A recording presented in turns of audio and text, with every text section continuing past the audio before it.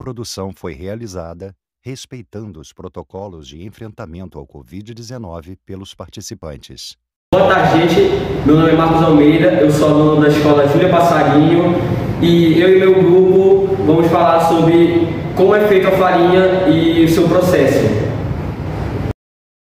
Trabalha hoje dia a dia aqui, a gente faz um, um pequeno um grupo que manter esse trabalho para você conseguir um trabalho desse, você tem de ter um, um mais pessoas para ajudar, né? Nós começamos a roçar a partir do dia 20 de agosto, né? Para que nós pudéssemos queimar numa, na época de outubro. E no qual que nós trabalhamos aqui, nós tirávamos uma semana para cada um, né? Para trabalhar. Para que a gente possa ter, o nosso alimento do dia a dia, né? Para nós começar a cultivar o, o, trabalho nosso, nós temos primeiro ainda parar a maniva, passar para dentro de campo, né? Depois que tiver tudo a maniva aqui dentro do campo, aí que nós vamos começar a fazer o trabalho aqui na terra. Então, a partir que nós fazer aqui na terra, tem uma pessoa plantando, no caso, né? E um cavador cavando. A gente coloca a maniva, né?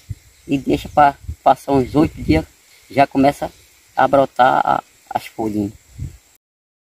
De solo para o plantio da mandioca, tipo assim, uma, é, a terra mais arejosa, tipo na areia é melhor do que o barro.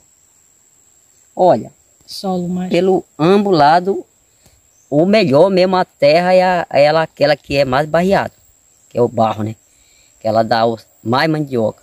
A areia constantemente, ela é uma areia que ela dá possibilidade de a mandioca crescer, mas só que ela arruina numa parte. Estraga mais Estraga rápido. Estraga mais rápido a mandioca.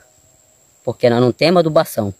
Essa adubação não existe para nós. Essa adubação é, é, quando nós, depois que planta, capina, esse mato que vai proteger em cima da, do pé da maninha. E qual é a melhor época da colheita? A partir do dia janeiro. Por acaso, se nós plantar, completa um ano em janeiro do ano de 2000 e... Nós estamos em 2021. 21, a partir de 2022. No caso, se for outra que eu já tenho, né? Que é a talha madura. E essa aqui que vai ser para o outro ano que vem. Entendi. 2023.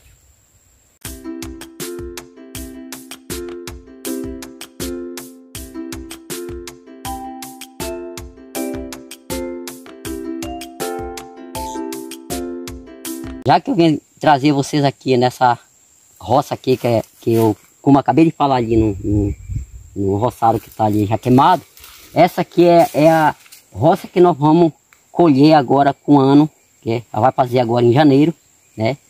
Então, é esse fruto aqui que nós vamos começar a utilizar ele aqui nessa propriedade.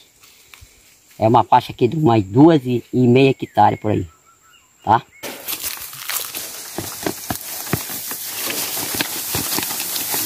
Olha o tamanho. Olha o tamanho dela aqui, ó.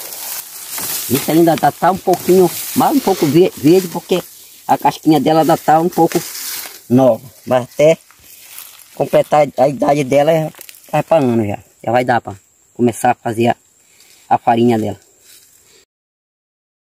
E começar da mandioca raspada. Isso.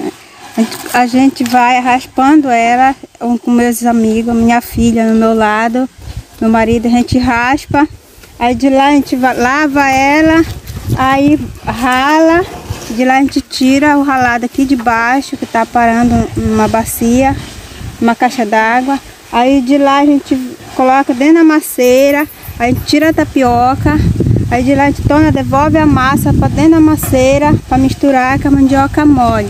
A gente vai ralar a mandioca mole para misturar com o ralado.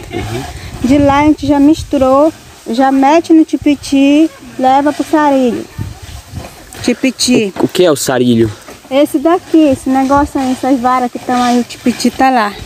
Entendi. Esse aí que é o sarilho. Aí a, a massa seca aí, leva lá pra, pra maceira, pra, pra coar ela, pra jogar pro forno, a massa.